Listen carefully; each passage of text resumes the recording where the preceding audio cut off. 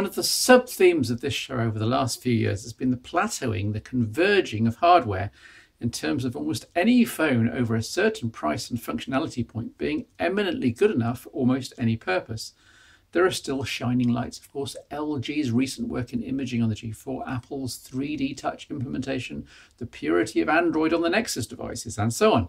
But an awful lot of Android smartphones in particular are coming from very similar Chinese factories with very similar, though capable, specifications. Witness these two smartphones, the new Wileyfox Storm and the newish Alcatel Idol 3 5.5 inches. You remember I reviewed the smaller sister phone back in Phone Show 261. Their form factor and spec is very, very similar. So what I'm going to do is present the Storm first and then explain any differences afterwards. And so to this brand new name for smartphones, Wileyfox, and it's British. Okay, so the phones themselves are made in China and the components somewhat generic, but there's some attention to detail here which is well worth noting. This also extends to the use of Cyanogen OS 12.1, effectively Android 5.1 with a load of extra customizability and privacy settings. Otherwise, it's a vanilla interface that you'll all recognize. OnePlus famously also signed up to Cyanogen before falling out with the company, but Wileyfox makes excellent use of the OS, using its benefits as a big factor in the marketing. But on with the hardware. This is a big 5.5 inch screen phone with 3 gig of RAM inside, 3 gig, and an excellent camera, at least for the price, less than £200, all in in the UK. I highlight these three factors because they're absolutely key to the modern smartphone experience. A good screen, plenty of RAM for the OS and applications to run in unhampered, and good imaging that won't let you down. Of course, something's got to give, and it's not all roses here, but at least we're off to a promising start.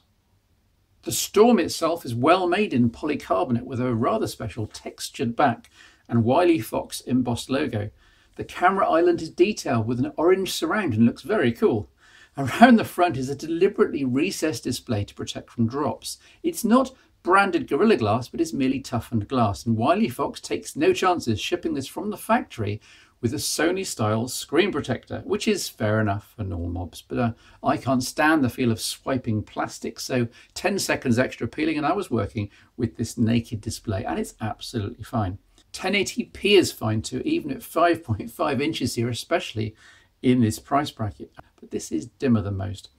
Beneath the display are three backlit capacitive controls, good to see in an age when most phones go virtual to save money. And you then lose screen real estate. Better yet, the center home control doubles as a charging and notifications light, which is very useful and cool. On the side is an extended tray following the lead of Huawei and others by having a combined dual SIM micro SD system. You get to pick two from three, and somehow they all stack in and connect up. For most people, a micro SIM and micro SD will be fine, though there's an impressive 32 gig of internal storage as well so a card isn't an immediate necessity. The mono speaker's hidden behind part of a grill here on the back and it's loud but harsh. Here's a demo. This is full volume though. Bit of Dire Straits. Amazing, that's about 30, 40 years ago. Wow. about what you'd expect for a sub £200 handset though.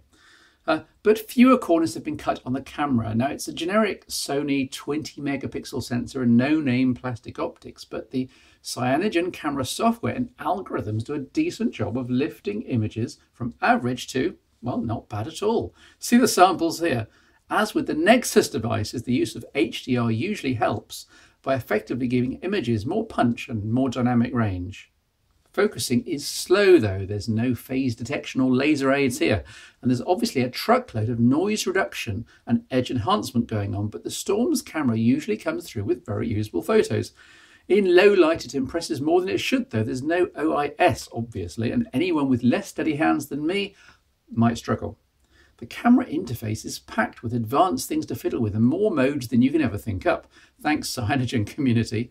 The most important thing to set or not set is zero shutter lag, letting you toggle between intelligent multi-shot combinations and advanced rendering and ultra quick grabs of whatever's on the sensor. And half the settings do tend to override the other half. This is a camera UI designed by committee, but the shots are good enough to warrant patience and perseverance, I think. The front-facing camera shows more evidence of outlandish image processing, but it's 8 megapixels and has its own selfie LED flash, so still performs much better than most. There have to be some corners cut, of course. £200 for this spec is otherwise too good to be true. There's no NFC. Apparently this isn't big in China where the internals originate. So that's Android Pay and accessory pairing out the window. There's no Qualcomm Quick Charge 2.0 compatibility. In fact, there's not even a charger in the box. It's assumed that you'll use the supplied micro USB cable with the charging source of your choice. The processor's merely a Snapdragon 615, though in fairness, the UI does zip along fairly nicely, thanks to that 3 gigabytes of RAM. And the sealed battery is only 2500 milliamp hours. We're used to phablets coming in with well over 3,000. And as a result, the Wileyfox Storm does make it through a heavy day, but without much to spare, despite the modest processor. And there's no fingerprint scanner, of course. You wouldn't expect one at this price, perhaps, but it's worth noting anyway. The highlights of Cyanogen's additions and what make it a smart choice for Wileyfox are the privacy and security extensions to Android. There's more here than I can possibly list, but I was taken by the randomly scrambled pin layout so no one can use finger smudges on the glass as a clue, and the ability to spot when an application is misusing SMS with various limits and permissions you can impose, plus the usual lollipop encryption functions, of course. There's also Cyanogen's extensive theming. Hundreds of free and premium themes allow complete control over wallpapers, icons, sounds, boot animation, yeah, fonts, and more. A new look for your phone every day or a confusing barrier to productivity? Well, at least it's your call. The only significant addition to the stock Android application set is Audio FX, a system-wide equalizer with dozens of presets, with bass, boost and a virtualizer. Very nice indeed. I'm torn on the Wileyfox Storm, I really am. While I can't really forgive the omission of NFC as we head into 2016, that 3 gigabytes of RAM allocation does mean there's quite a bit of future proofing in the application department, and most other components are sensible choices in a sub £200 4G Android smartphone. Hand the Wileyfox Storm to someone to use for a day. Tell them it's a £500 flagship. And only the real geeks will spot that you haven't been quite straight with them, which has to be a compliment and ultimately a vote of confidence. More like this, please, Wileyfox. And now for this, the Alcatel Idol 3 5.5. There's a real sense of deja vu on the specs. It even comes with the same factory fitted screen protector, but there are some significant details that do differ. The Idol 3 is slightly smaller, slightly thinner, despite having the same 5.5 inch screen and despite having Monster branded front facing stereo speakers. Here's a demo. I can hear bass and I can really hear the treble as well. Very high fidelity. Hopefully you can tell the difference even on the video. Thank you, Mark. The Idol 3 also has a much bigger 29 10 mAh battery, giving it a day and a half on a charge. It has NFC. Uh, on the minus side, there's only 2 gig of RAM and a 13 megapixel camera, which takes eminently less impressive shots.